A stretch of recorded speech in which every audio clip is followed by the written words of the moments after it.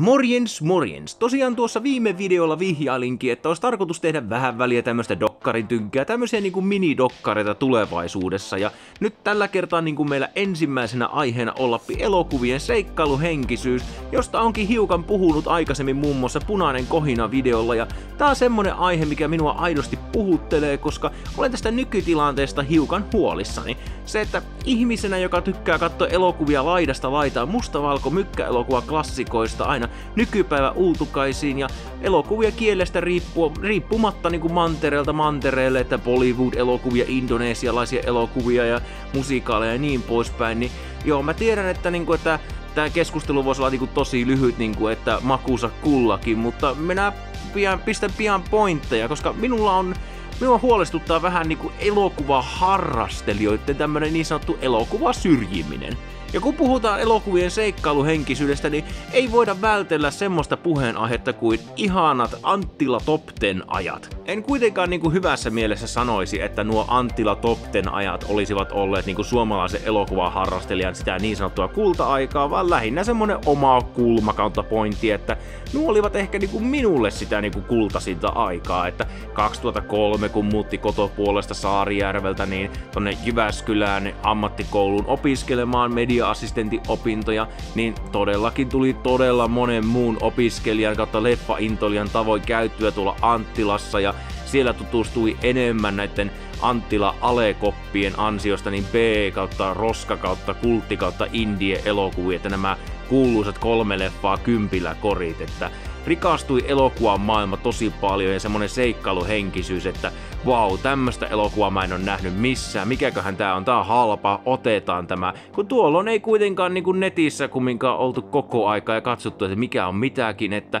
siinä vertaili sitten semmoisen niin kuin, sen pieneen omaan leffahistoriaan, mitä tiesi, että tää on varmaan sen ja sen tapainen, että ennen Anttila-aikoja niin oma elokuva niin kuin historia kautta kokemus niin oli lähinnä sitä, mitä löytyi paikallisesta kirjastosta, mitä tuli omaan le- paikalliseen leffateatteriin ja mitä sitten näki kavereiden kautta serkkujen kautta ja niin edelleen. Ja myöhemmin kun lähdin opiskelemaan lisää elokuvaa, niin noina aikoina sitten lisääntyi tämmöiset niinku erilaiset elokuvaharrastukset, kuten erilaiset niinku elokuvatapahtumat, näytökset ja filmifestivaalit. Ja onkin puhunut paljon muun muassa tästä Cinemadrome Filmfestivaalista, että miten se on muodostunut minulle niinku tosi tärkeäksi asiaksi. Ja tosiaan 2010 meni Voijomaa opistolle, siellä opiskeli kaksi eri linjaa, elokuva TV-linja ja näyttelijälinjan ja valmistui 2012 ja tuona aikana sitten minua nousi niin kuin astetta enemmän innokkuus tehdä tehosten maskeraustoimintaa ja sitten opiskelutten jälkeen tuli tehtyä erilaisia elokuvaprojekteja ja sitten tuossa 2016 kun Antila meni konkurssiin, niin se oli totta kai semmoinen surun päivä. Ja tuona aikana oli sitten nämä striimauspalvelut yleistynyt, niin ajattelin, että hmm, Antila totta kai tarjosi paljon muutakin kuin musiikkia, pelejä ja elokuvia, mutta en, en, enimmäkseen tuli ajateltua näitä elokuvia, niin siinä ajattelin, että kai me niin hyvässä mielessä pärjätään ilman Anttilaa, että se on totta kai monelle elokuvaharrastelijalle iso tärkeä paikka.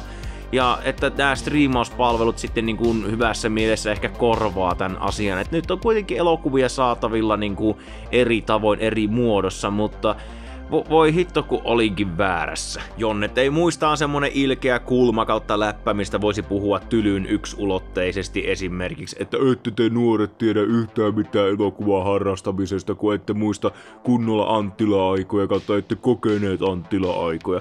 Mutta syy, miksi, mitä, miksi mä otan tämän puheeksi, tämä Anttila ja niin sanotut Jonnet, on se, että toi kun Anttila meni konkurssiin 2016, no en tietenkään väitä, että tämä nuoriso oli syynä siihen konkurssiin, että siihen vaikutti totta kai moni muukin asia kuin leffa- tai musiikkikuluttaminen. Mutta pointtina se, että kun 2016 meni Anttila konkurssiin, niin se tapahtui todella ikävään aikaan. Että tuossa viimeisen vuoden aikana on ollut erilaisissa työissä, niin työpaikoissa ja niin sanotusti mun viime kesätyöpaikassa – niin siellä oli tämmönen nuori sälli, joka oli täyttämässä 18, ja hän oli siinä ala-aste, yläaste vaiheilla kun Antila meni konkurssiin. Ja tuolloin se alkaa niinku pikkusen se leffa harrastaminen.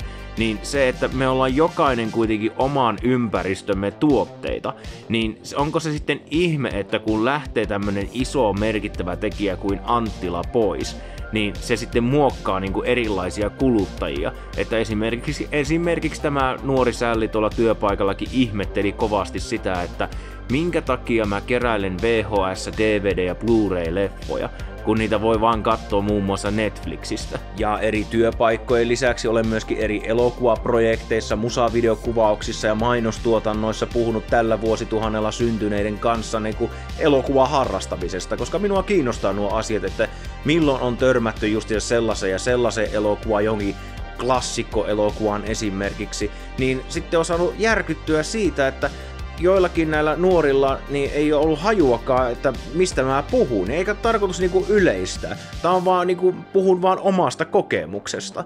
Että semmoista moni asia, mitä katsoo niinku yleissivistysasiana. Että tulee just semmonen teini-ikäinen tyyppi, joka ei tiedä esimerkiksi, että mikä on Indiana Jones ja niin poispäin. Että tuo oli vähän niinku raffi esimerkki, mutta joo, tämmönenkin on tullut vastaan.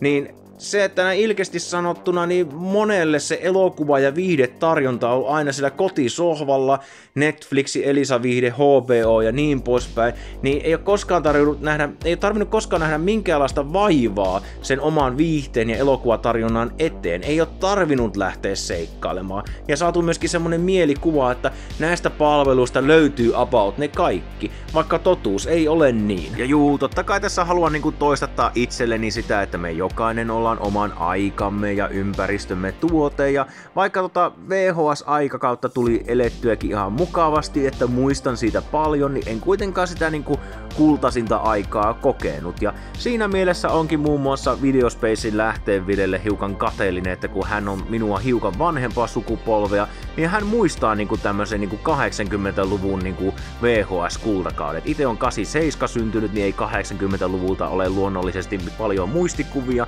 mutta just tuolloin 80-luvulla, kun nämä videomarkkinat justiinsa yleistyi ja on päässyt niinku näkemään ja kokemaan tämän kehityksen justiinsa 80-luvulla kautta 90-luvulla. Ja tuolloin minä olisin itsekin niin halunnut elää ja olla just seikkailemassa niin näiden eri elokuvien kanssa. Että kun tulee justiinsa leffakauppaan joku uusi leffa, mistä ei ole kuultukaan, pitää lukea lehdestä ja noin poispäin. Ja niin kuin, että tosi laidasta laitaa niin kuin seikkaillaan niin kuin elokuvien kanssa. Se on niin kuin semmoista, niin kuin, ei ehkä paras sana valinta, tarkoitan siellä parhaimmalla mahdollisella tavalla, mutta semmoista niin kuin melkein tutkimustyötä justiinsa, että leffaharrastelijat niin kuin oikeasti joutuu näkemään niin kuin vaivaa tämän shitin eteen ja sitten tulee näihin tiettyihin elokuviin sitten paljon enemmän tunnesidettä, kun sä oot oikeasti ollut niiden niinku parissa, seikkailut, nähnyt vaivaa ja niin poispäin, niin ei sitä samanlaista tunnesidettä voi tulla elokuviin, jossa vaan löhöät sohvalla ja sieltä vaan niinku selailet ja katsot ja noin poispäin. Ei ole tämmöisiä erilaisia private screeningeja, kotiteatterikokemukset, hei jätkät löytyi tämmönen elokuva, nyt mennään katsomaan meidän kotiteatterin, tai sitten tuleekin joku harvinaisen leffan niin kuin filmikelaan näytöstä tai muuta tämmöstä näin, niin ää, että se, että miten ton nuoruusiän niin kuin elää elokuvien parissa, niin se on niin kuin todella tärkeää, että minkälaisen leffaharrastelijan se muokkaa. Ja sitten myöskin, että tuleeko sitten tämmöistä niin seikkailuhenkisyyttä ja sitten tuleeko tästä myöskin semmonen kuluttaja, joka tukee esimerkiksi filmifestivaaleja ja videodivareita. Ja kun puhutaan elokuvan harrastamisesta ja elokuvien seikkailuhenkisyydestä, niin totta kai elokuvadivaarit ovat yksi parhaimpia paikkoja, ja yksi mun lemppareista on viiden tähden leffadivaari Tampereella. Ja se on ollut surullista huomata, että kun divaarit ovat kuolevaa sorttia, niin eri paikkakunnilla ei ole enää divaareita tai mitään kauppoja, mistä saa leffoja, vaan lähimpänä NS-leffakauppaa eri paikkakunnilla niin on kirppotorit ja kierrätyskeskukset ja kyllähän minä niissäkin tykkään niinku käydä ja öö, enkä halua tietenkään loukata ketään, mutta esimerkiksi nuoremmat leffaharrastelijat, jos haluaa niin kuin omaa leffatietämystään vähän testailla, niin voi esimerkiksi mennä Divariin ja sillä katsella elokuvia ja varsinkin näitä import-leffoja, eli näitä ulkomaan painoksia, että kuinka paljon tämmöisistä niin kuin kasariklassikoista kautta vanhemmista, kulttiklassikot, B-klassikot ja niin poispäin, niin kuinka paljon niistä niinku on tuttuja leffoja. Ja juu, pahoittelut, jos mie toista itteeni liikaa tällä videolla tai niinku loukkaa ketään, ja eikä ole tietenkään tarkoitus loukata, mutta nyt kun päästään tämmöisiin osioihin, että pitää ottaa niinku vertailukohteita, niin siinä helposti jonkun mieli pahoittuu, mutta se ei ole tietenkään minun tarkoitukseni, että haluan totta kai niinku, no, osoittaa pointtini. Ja yksi mun pointeista tähän leffaharrastukseen kautta seikkailuhenkisyyteen on se, että kun nykypäivän tarjontaa on niin paljon, niin sieltä mukavuusalueelta ei tarvi niinku koskaan poistua. Ja tämä tietenkin on sitten semmonen yksi niinku avaintekijöitä siihen, että minkä takia ei enää NS-leffaharrastelijat enää oikeasti seikkaile. Ja on tullut vastaan niin kuin justiinsa, että ei, tarkoitus lou- ei ole tarkoitus loukata ketään, mutta se, että monia le- niin kuin leffaharrastelijoiksi itseään mainostavia jotka eivät oikeasti paljon harrasta monipuolisesti elokuvia, vaan lähinnä pysyvät näissä isoissa franchise-elokuvissa, eikä minulla ole tietenkään mitään sitä vastaan. Ja loppupeleissä franchise-elokuvia on ollut yllättävän kauan niin kuin tämmöisen niin kuin modernin populaarikulttuurin aikana, ja se on ehkä se niin kuin pointti, että jos lähinnä katsoo tämmöisiä isoja franchise-elokuvia, tämmöistä mainstream-tarjontaa, niin ehkä se niinku mainostaminen, että olen iso suuri populaarikulttuurin ystävä kautta kuluttaja.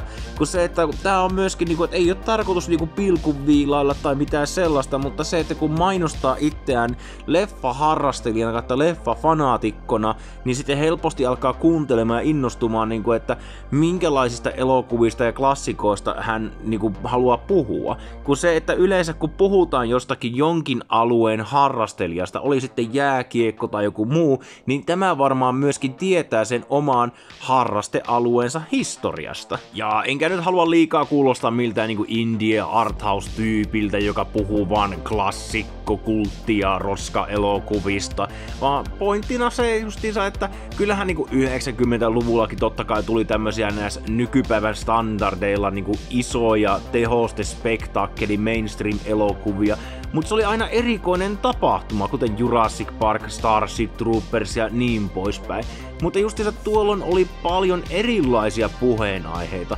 Niin se, että kun tulee paljon tämmöistä niin kuin nykypäivän katsoja vastaan, jotka puhuvat, niin kuin, että minä olen suuri leffafanaatikko, niin se on, että aha, niin no, nää, sä nyt puhut näistä tunnetuimmista elokuvista koko ajan, niin tää nyt käy vähän niinku tylsäksi myöskin, että miksi me nyt puhutaan koko ajan sellaisista, mitkä on jatkuvasti niinku tuoreena puheenaiheena. Niin se, että kasvoi niinku tämmöisenä aikana, että oli nämä isot spektaakkelit, ja ne oli siistejä, että oli tämmöiset niinku isot Hollywood-leffat. Niitä ei tullut tämmöisiä mitään sadan miljoonan dollarin elokuvia säännöllisesti. Se oli aina erikoinen tapahtuma. Niin se oli aina kotimaassa ja ulkomaassakin tuli semmoista niinku hyvässä mielessä A- ja B-tarjontaa. Se mikä tulee niinku yllättävän paljon vastaan niin on elokuvan niinku valinnan kautta hehkuttamisen suhteen niin on loppupeleissä niinku nämä pinnalliset syyt. Että ymmärrän kyllä totta kai, niinku, että tämä nuorempi sukupolvi ne ovat eläneet niinku, semmoisella aikakaudella, että tulee koko ajan säännöllisesti ns. pintapuolisesti kautta teknillisesti paremmin tehtyjä elokuvia.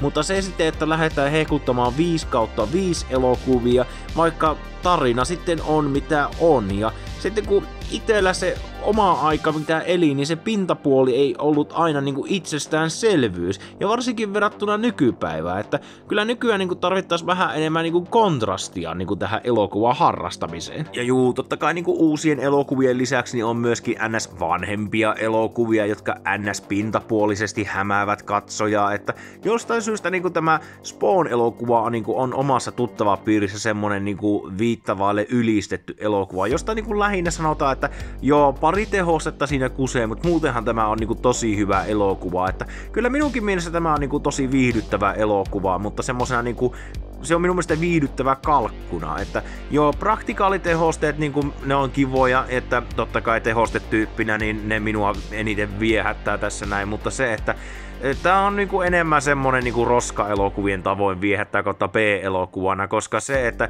jos nyt oikeasti lähdetään rehellisesti purkamaan niinku tätä tarinaa, rakennetta ja kerrontaa, niin eihän tämä niinku ole hyvä elokuva.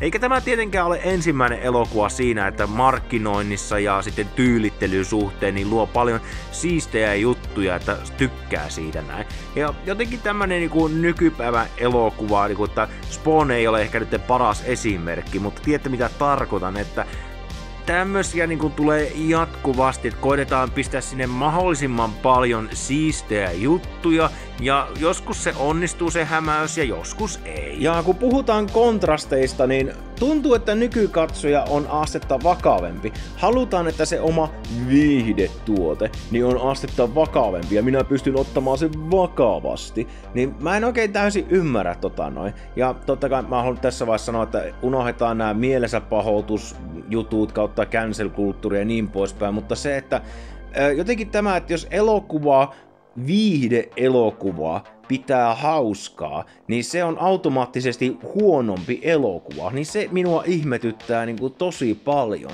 Että mikä tässä nyt on, että joku elokuva saa olla hauska. Niin se on vaan, että tietää, että menee katsomaan viihde-elokuvaa, mutta siltikin niinku, että... Öö, niin tää on myös semmosia, mikä minua mietityttää tosi paljon. Että esimerkiksi kerran yksi kaveri vertaili Spawnia ja Batman Robinia, mikä on tosi outo vertailu, mutta siinä, että hän halusi vaan todistaa, että Spawn on parempi elokuva, koska se antaa paljon synkempiä ja siistempiä juttuja ja sitä kautta on vakavasti otettava.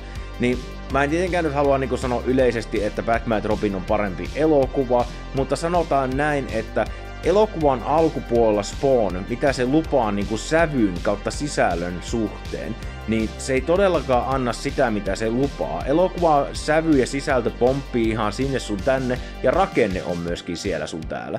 Niin se, että Batman Robin on kuitenkin helpommin seurattava elokuva, se on selkeämpi elokuva, se on vähän ADHD, että kilkuttelee erilaisia niin kuin viihdearvoja koko ajan, mutta se todellakin sävyn suhteen antaa juuri sitä, mitä se lupaa, ja onko tuo oikeasti Batman Robinin tämä sisältö, hupsuttelu ja sävy yllätys Batman Foreverin jälkeen? Niin se, että aikuiset ihmiset niinku suuttuu tämmöisen niinku hupsuttelu viihde-elokuvan sisällöstä, että en pystynyt ottaa vakavasti, niin tarviko kaikkia ottaa niin vakavasti? Ja sitten tämmöiset kokemukset niin myöskin niinku uusilla katsojilla, niin lisäävät enemmän semmoista fiilistä, että mä en enää tonne tontille mene, koska yksi syy. Mutta sitten kuitenkin halutaan niitä omia juttujaan sitten totta kai suositella, että katso tämä minun tykkäämä moderni ison rahan tekele vakava semmoinen katso, mutta en anna sinun suositukselle minkäänlaista mahdollisuutta, jos se menee minun mukavuusalueen ulkopuolelle. Ja se minua ärsyttää. Ja juu, ja jos on kasvanut niinku tämmösen niinku nykypäivän tarjonnan kanssa kautta niinku tykästynyt, samaistunut siihen, whatever, niin siellä, siellä mukavuusalueella on nykyään niin paljon tarjontaa, että siitä ei tarvi poistua. Niin mikä se on siinä sitten, että kun tulee jotakin uutta vastaan, oli se sitten joku uusi indie, arthouse tai roska-elokuva tai ei niin vanha tai klassikko-elokuva, niin minkä takia se tuntuu sitten semmoiselta niinku hyökkäykseltä, että esimerkiksi joku suosittelee jotain, tai sitten vaan joku kun ei vaan tykkää sun jutusta, mikä edustaa esimerkiksi isoa franchisea, niin minkä takia se otetaan välillä niin sosiaalisessa mediassa niin voimakkaasti vastaan, niin Kuten tuossa aikaisemmin puhuin tuosta leffaseikkailustakin, että kun mennään tutkimaan noita elokuvia ja noin poispäin, niin kysehän on tunnesidoksesta. Itse sain paljon niinku tunnesidosta kautta niinku hyvän olon tunnetta siitä, että kun meni tonne oikeasti etsimään ja penkomaan ja löysi hyvää, että siellä ei aina tullut tietenkään mitään hyvää vastaan, että saattoi olla pettymystä toisensa perään, mutta sitten kun tuli välillä se joku edes ok elokuva, mikä sisälti tarpeeksi viidearvoja kautta mielenkiintoisia juttuja. Se tuntui tosi hyvältä. Mutta nyt kun ei tarvi nähdä vaivaa juuri elokuvan ettimisen eteen, niin ollaan vaan totuttu siihen, niin että standardit ovat ihan väärät näin ilkeästi sanottuna. Että sen pitää elokuvan vähintään sisältää tämmöisiä tehosteita ja niin poispäin pitää olla pintapuolisesti näin ja näin. Ja sitten jos joku ei arvosta tätä tai niinku edes tykkää tätä niinku sinun mielipidettä, totta kai niinku, että arvostaminen ja tykkääminen on eri asia, mutta se, että joku vaan sanoo tästä sinun mukavuusalueesta jotakin ikävää, niin se otetaan henkilökohtaisesti. Ja sitten niinku halutaan luoda tämmöistä kilpeä oma itsensä ympärille, että tännehän ei hyökätä, että sinun mielipiteesi ei ole vain mielipide, vaan se on vaan hyökkäys tämmöistä minun mukavuusaluetta, eli minun faktaani kohtaan. Ja tämmöisten niin keskusteluiden kautta sitten, kun katsotaan mukavuusaluetta, halutaan vaan sitten yleensä hehkuttaa semmoisena täydellisyyden vertauskuvana, niin sitten helposti tulee puheeksi, että okei, okei, joo, mä ymmärrän, että sä tykkäät tästä tosi paljon, ja helposti sitten aletaan niinku panikoimaan siellä, että, että tää on helvetin hyvin kuvattu elokuva, ja siitä minä tykkään. Mä okei, okei, okay. ja sitten elokuvaharrastelijana helposti otan puheeksi, niinku, että, että hei, kato Akira Kurosavan elokuvia. Se jätkä loi niinku, tämmöisen niinku modernin kuvakerronnan periaatteessa. Nyt en mä, kun ne on tylsiä. Ja tästä päästäänkin sitten toiseen hienoon aiheeseen. Tai oikeastaan ennen kuin mennään tuohon seuraavaan pointtiin, niin selitin tuon äskeisen aika sekavasti, että mulla on tultu, mulla on tultu aika usein niin kuin sanomaan, että kai sä Ari tiedät niin kuin sen tunteen, että kun sanotaan sun lempielokuvasta jotain pahaa, niin tunteet nousee pintaan, alkaa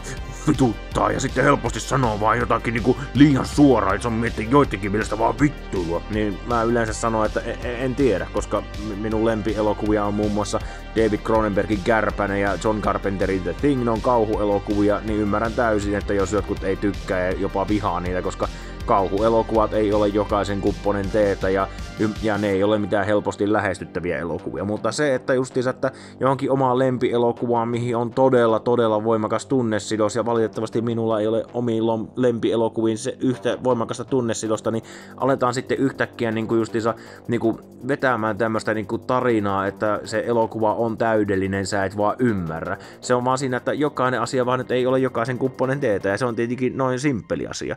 Mutta joo, Y- joo, tästä nyt ei varmaan tarvitse tietenkään enempää sanoa tuo itsestäänselvyysasia, mutta joo, tosiaan tuosta tylsyysasiasta kun puhuttiin, niin se mikä minua vähän kiehtoo, niin kuin, että elokuvien suhteen, että esimerkiksi Alfred Hitchcockin Psycho, niin se oli aikanaan yksi niin kuin jännittävimpiä elokuvia ikinä.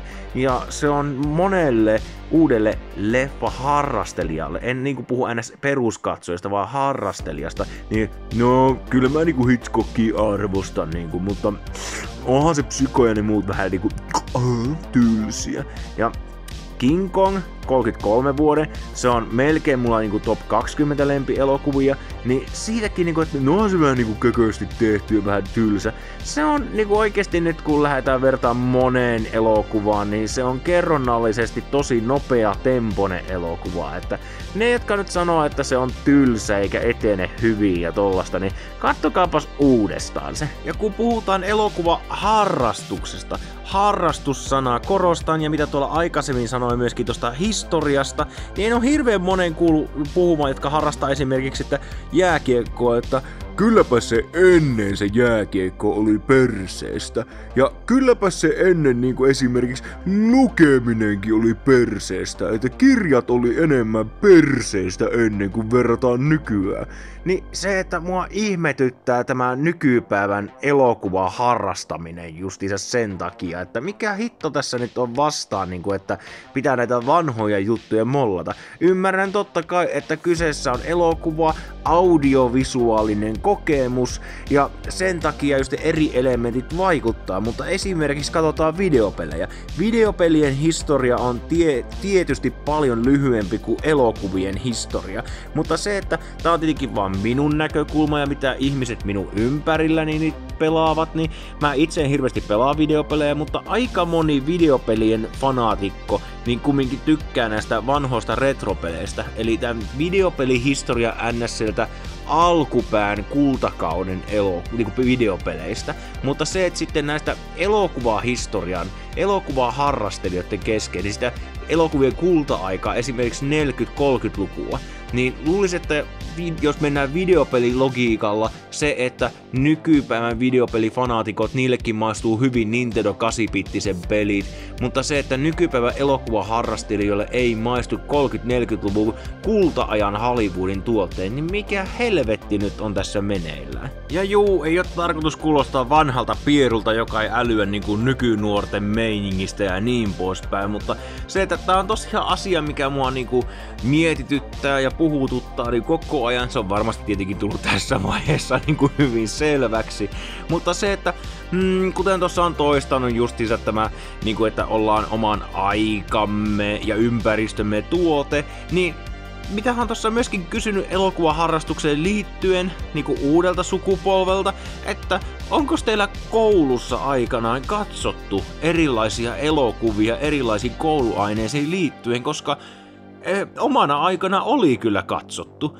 Ja nyt kun on kuullut, että ei ole hirveästi katsottu, että kyllä mä muistan niin omana kouluaikana justiinsa eri koulu kouluaineisiin liittyen katsottiin erilaisia elokuvia, mitä ei olisi niin kuin normaalisti tullut katsottua, ja sitten ne jää mieleen, ja myöhemmin sitten kun tulee jotain vastaavanlaista vastaan, niin on paljon avomielisempi. Ja totta kai sitten myöhemmin media-assistentin koulutuksen aikana Amiksessa, ja sitten varsinkin Voimaa opistolla, kun opiskeli justiinsa videota kautta elokuvaa, niin tuli katsottua sellaisia klassikoita, mitä ei normaalisti tulisi katsottua katsottua.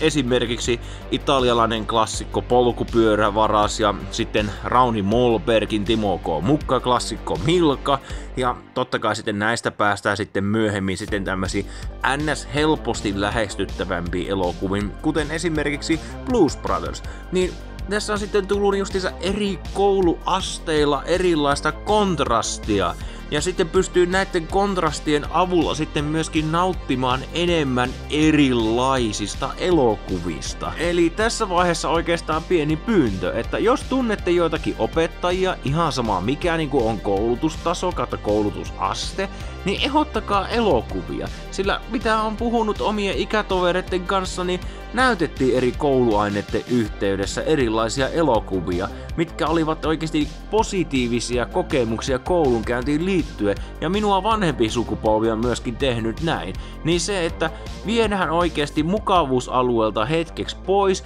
on hyvä justiinsa siihen kouluun, opiskeluun ja kehittymiseen liittyvää, niin se saattaa joillekin olla vähän niin kuin nye, nye, nye aluksi, että ei tykkää, mutta sitten kun leffa on katsottu, niin saattaa ollakin positiivinen kokemus heti jo silloin, tai sitten myöhemmin elämässä löytää jotakin hyvää vastaavanlaista, ja se auttaa enemmän lisää siihen suuntaan, että on avomielisempi erilaisille jutuille, niin kuin hyvässä mielessä. Ja eikä minua ole tarkoitus tässä niin kuin tietenkään luoda mitään niin kuin sellaista katsojaa, niin kuin, joka tykkää niin kuin samanlaisesta kulttikata roska-elokuvista, kuten meikäläinen. Vaan lähinnä pointtina just se, että kun mitä nyt tuossa, no tylysti sanottuna nykypäivän ylitarjonta, mukavuusalue tarjonta, niin helposti turruttaa sille samalle alueelle, niin antakaa myöskin erilaisille shitille niin kuin mahdollisuus, niin oppii enemmän arvostamaan erilaisia juttuja. Että esimerkiksi minä en ole minkään sorti autoihminen, mua ei autot kiinnosta, mutta se, että kun antaa eri jutuille mahdollisuuden, niin helpommin arvostaa esimerkiksi toisen autotuunaustyötä ja niin poispäin. Se, että just jos liikkuu se omalla mukavuusalueella ihan liikaa, niin toisten jutut pakosti kiinnostaa. Tämä on huomattu. Eikä tarkoitus niinku yleistää, mutta se on huomattu omassa tuttava piirissä, että kun on se oma mukavuusalue niin vankasti kiinni, niin ei pakosti niinku kiinnosta kautta arvosta toisten juttuja. Saatte totta kai tykätä siitä omasta jutusta, ne oli sitten franchise-elokuva tai vastaavaa. Mutta se myöskin tämmönen äh, rehellisyys, että itselleen valehtelu tai vastaava. Moni tykkää niinku sanoa, että olen leffa-harrastelija ja niin poispäin. Mutta sitten onkin loppupeleissä enemmän franchise-juttu, että olen suuri populaarikulttuuriharrastaja. Siinä ei ole mitään vikaa. Mutta jos olet leffa-harrastelija, niin myöskin harrasta näitä erilaisia klassikko, kultti- ja roska-elokuvia. Niin kuin please, ole sanojes mittainen. Lopeta muille ja itselles valehteleminen. Ja eikä minua ole tarkoitus kuulostaa niinku ilkeltä kusipäältä, mutta helposti minua tulee semmonen mielikuva, että on joku NS-leffaharrastelija, mikä ei oikeasti harrasta, vaan pysyy sillä tietyllä omalla mukavuusalueella, niin tulee vaan semmonen stereotyyppinen kuva, ja sitten tulee muistisääntö myöskin, että ei, ei minun ehkä kannata puhua tämän ihmisen kanssa ehkä monipuolisesti elokuvista ja noin poispäin, koska jos menee varsinkin on hyvin tunneherkkä ihminen tämmöisissä asioissa, mä en halua minkään sortista tappelua, mä en ole koskaan ymmärtänyt tämmöistä niinku elokuvista tappelua, että miten voi oikeasti jokin semmonen asia kuin tuote nimeltä elokuva mennä niin tunteisiin, vaikka on kuinka tunnesidosta. Ja sitten jotkin ihmiset, niinku, vaikka puhutaan niinku naamatusten, niin kirjoittaa sosiaalisen median nämä asiat. Ja siinä helposti sitten ajattelee, niinku, että niinku lukee varsinkin jostakin Facebookissa tai Instagramissa toisen niinku negatiivisia kommentteja, että onpas siellä kusipää. Niin, mutta mulla tulee itsellä niin mieleen niin lukee, lukee noita negatiivisia kommentteja, että on menty tämä kynnys ylite. Niin onkohan tuolla ihmisellä oikeasti kaikki hyvin?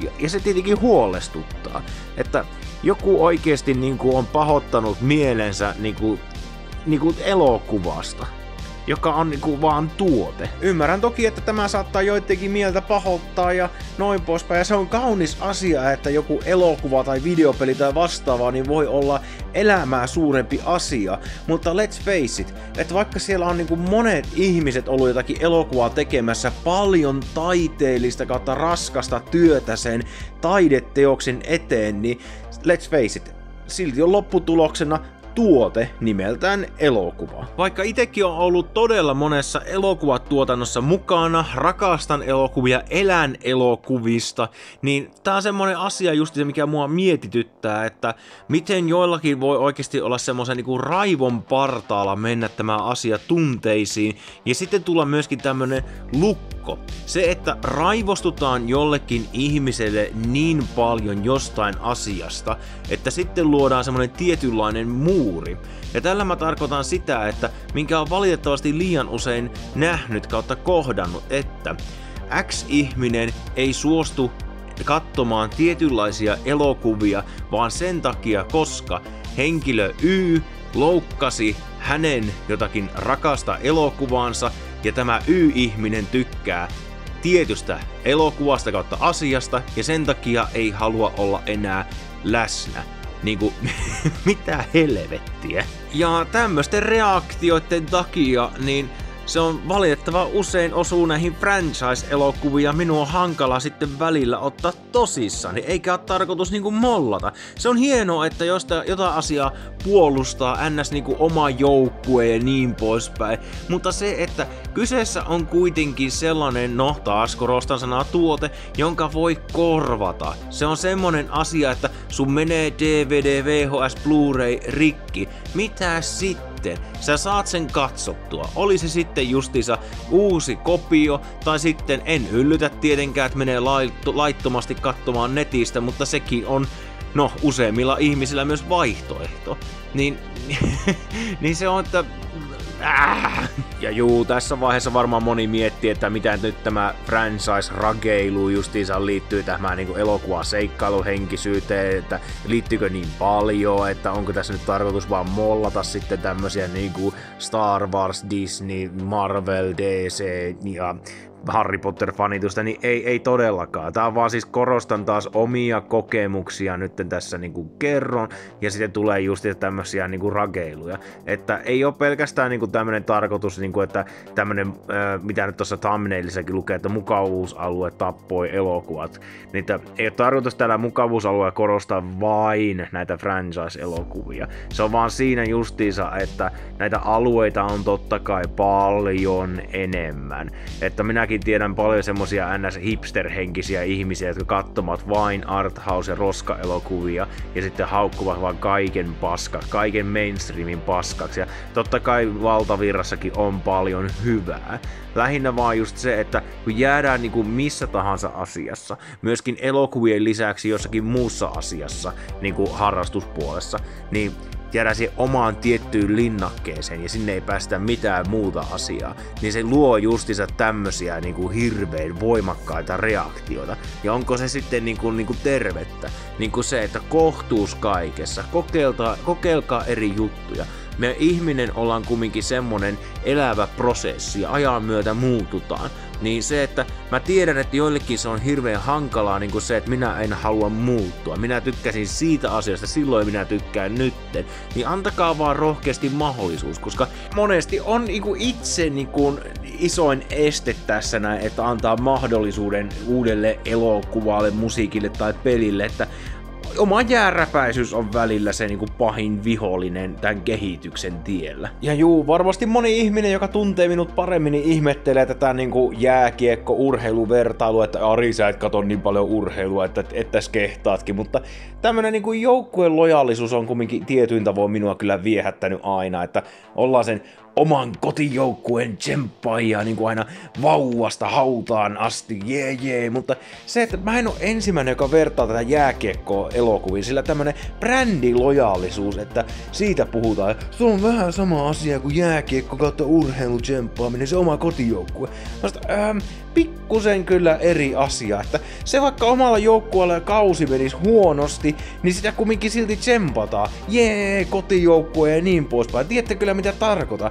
Mutta se, että Ähm, se, että omalta brändiltä, lainausmerkeissä, joukkueelta, tuleekin jokin elokuva, mikä on ihan sysi paska, niin se, että silti pysytään lojaalina sille, pysytään mieluummin sen oman brändin kautta joukkueen paskatuotteessa, sitä niin kuin nostetaan sille peukkua, mieluummin kun mennään uudelle alueelle. Ja, ja sitten ihmetellään, että miksi, miksi kutsutaan psykopaatiksi. Ja mä en liiottele edes. Tää on yksi syitä, että minkä takia mä halusin tehdä tämän videon. Että on oikeasti välillä niin tämmöisiä tiettyjen, ei franchise, vaan brändilojaaleja ihmisiä, että pysytään siellä mieluummin puolustamassa omaa paskaa, kun mennään uuden hyvän rinnalle. Niinku, tää on jotenkin niin sanotaan, pelätään kehitystä. Minä tiedä mitä vittua. Mutta jos jotain yhteistä hakee urheilu ja sitten näiltä leffafanaatikoilta, niin on se, että tämä raivostuttava, pelottava hyökkäys. Että kyllä mullakin on ollut semmoisia jääkiekkopelejä justiinsa, että ollut katsomassa, joku M-peli, niin se, että mä oon yskässy vahingossakin pelin aikana, niin sitten ollaan heti, että Ari nyt vittu hiljaa. Mä okei, okei, okay, okay, ei saa sanoa mitään pahaa. Niin siinä on se yhtenäisyys on kyllä näin tietyille leffafaneille kyllä, että ollaan se omalla joukkueella just sitä näin, että sanotaan, että mm, tuo näyttelijä on vähän vanhentunut.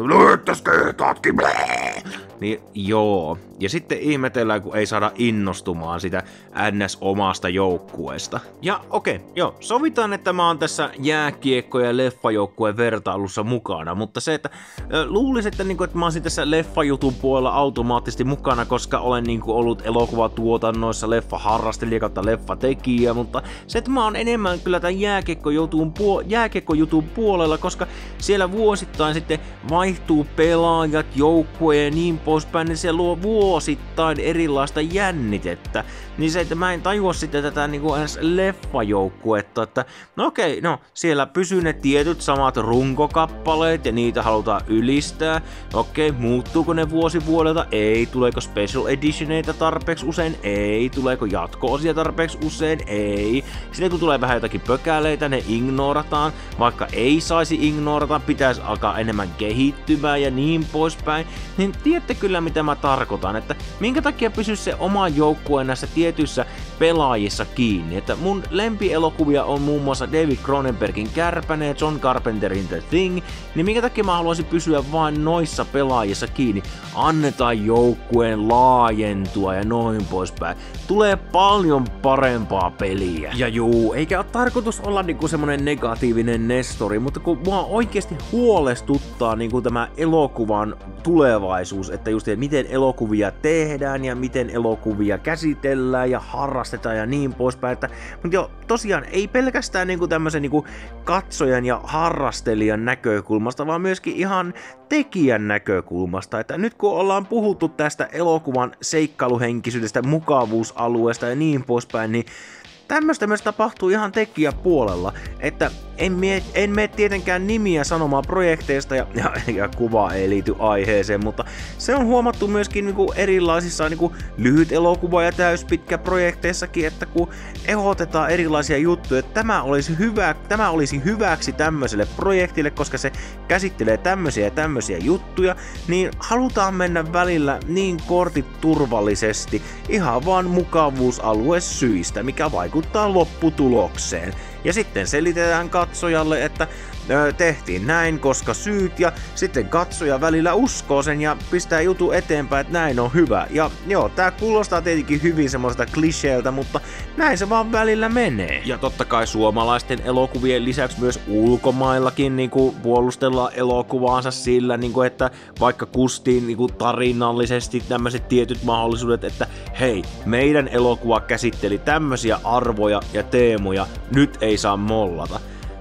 Ja tietenkään ei aina tämmönen niinku menee läpi, mutta joskus menee ja eikä ollut tarkoitus liikaa tuoda tämmösiä omia leffamakuesimerkkejä tähän videoon, mutta esimerkiksi Midsommar on minulle semmonen elokuva, että se on enemmän draama-elokuva, joka on naamioitu genre-elokuvaksi ja sillä huonolla tavalla, ja menty enemmän justissa nämä tietyt teemat ja arvot edellä sen sijaan, että tarjoillaan genre-elokuva kohdeyleisölle sitä, mitä on niinku luvattu. Ja nykypäivän katsojalle tässä on luotu toinen ääripää kautta mukavuusalue, missä myöskin tykätään olla että ei tarvi lähteä seikkailemaan, että esimerkiksi jos franchise-elokuvat niin sanotusti ei kiinnosta, mutta on nämä tietyt elokuvat, mitkä edustavat tiettyjä arvoja kautta teemoja, niin Tämä on silloin tosi hyvä elokuva ja sitä jopa sokkona puolustetaan, vaikka elokuva olisi oikeasti tarinallisesti ihan paska. Ja niin kuin, ei nyt tarkoitus, ei ole tarkoitus kuulostaa niin äärettömän mulkulta, mutta tiedätte kyllä mitä tarkoitan. Jos jotain yhteistä hakee näiltä franchise-elokuvilta, tämmöisiltä isolta elokuvilta ja sitten yleensä vähän pienemmällä budjetilla tehtyjä tämmöisiä teema- kautta arvoelokuvia, niin on se, että näille tulee yleensä näitä halpoja kopioelokuvia, jotka onnistuu huijaamaan sitten katsoja, katsoja joko pintapuolisesti kautta teemojen ja arvojen puolesta, ja sitten kun on huijattu, sitä maksettu, niin se aiheuttaa päänsärkyä, ja sitten kun tarjotaan jotakin vähän erilaisempaa esimerkiksi Indie B-alueelta, niin sille ei anna paikosti mahdollisuutta, jos on niin sanotusti onnistuttu jo huijaamaan, että tämä alue, mistä minä tykkäsin tosi paljon, niin minä katsoin sitten niin kuin näistä hyvin simpeleistä syistä sitten halvan kopion. Niin, niin, niin, niin, niin, niin, tulin huijatuksi ja nyt minä en tykkää. Ja asia ei tietenkään auta, että sitten joku hirveä leffapätiä on sitten vaan siellä, että hei kannattaa katsoa tätä ja tätä, ärsyttää, niin ymmärrän. Näitäkin on kyllä tullut vastaan. joo, että, joo, tiettyjen ihmisten kohdalla niin on ollut sellainen tappelu kautta kierre, että jota ei voi, niin sanotusti en voi voittaa, että on omat perustelut ja syyt ja noin poispäin, ja sitten on minulla omat perustelut ja syyt, mutta Äh, minkä sinä tekee, perkele? Ja juu, eikä minä hae tässä mitään voittoa tällä minidokkari tai minidokkari. No, pituus vähän venähti ja rakennekin meni vähän erilaisemmaksi kuin mitä oletin, mutta anyway, niin mä oon iloinen, jos näillä pointeilla sain jonkinlaista mielenkiintoa tai innostusta tai edes ärsytystä poistua mukavuusalueelta ja sen myötä sitten tukea paikallista elokuvatoimintaa. Varsinkin näin korona-aikana, niin erilaiset pikkuteatterit ja leffakaupat kautta divaarit, niin ne varmasti kaipaavat niinku erilaista tukea. Ja juu, elokuvan harrastaminen on muuttanut muotoaan ajan saatossa ja vaikka se ei ole mennyt semmoisen suuntaan niin kuin mitä itse toivoisin, että nykyään se on minun mielestä liian no, ei ole tarpeeksi monipuolista ja eikä minä näitä pointteja tässä kiusalla niin sano, että ihan hyvää hyvyyttä niin, niin kuin oikeesti, mutta jos joissain asioissa olen niin kuin ns. väärässä, niin laittakaa toki tuohon kommenttikentään kommenttia ja yksi asia, mikä on katsottu mielensä pahoitusaikoina vähän niin kuin liian negatiivisena, niin haluan sanoa nyt positiivisena. Monella repeisi perse siitä, kun Scorsese meni vertailemaan muun muassa Marvel-elokuvia vai oliko ainoastaan Marvel-elokuvia, mutta ihan sama niin vuoristorata-ajeluihin, niin mikäs vika siinä? 90-luvulla niin monia elokuvia verrattiin niinku hyvässä mielessä vuoristorata-ajeluihin, koska ne on hauskoja. Ja mikäs vika siinä on? Mut joo, voidaan lopetella pikkuhiljaa tää nahistelu ja sanon tämän myös itsellenikin, koska ei se ole kivaa myöskään negatiivisessa energiassa elää, että eiköhän mennä sulassa sovussa katsomaan jotakin yhteistä kivaa. Että sellainen mini-ish dokkari tällä kertaa. Laitelkaa tuohon kommenttikenttään kommenttia, että mistä haluaisitte kuulla enemmän elokuviin kautta tehosteisiin liittyen ja niin edelleen. Nähdään seuraavan videon parissa. Minä kiitän ja kumaran seurasta. Ja sillä siisti niinku joo, tjön tjön, moi.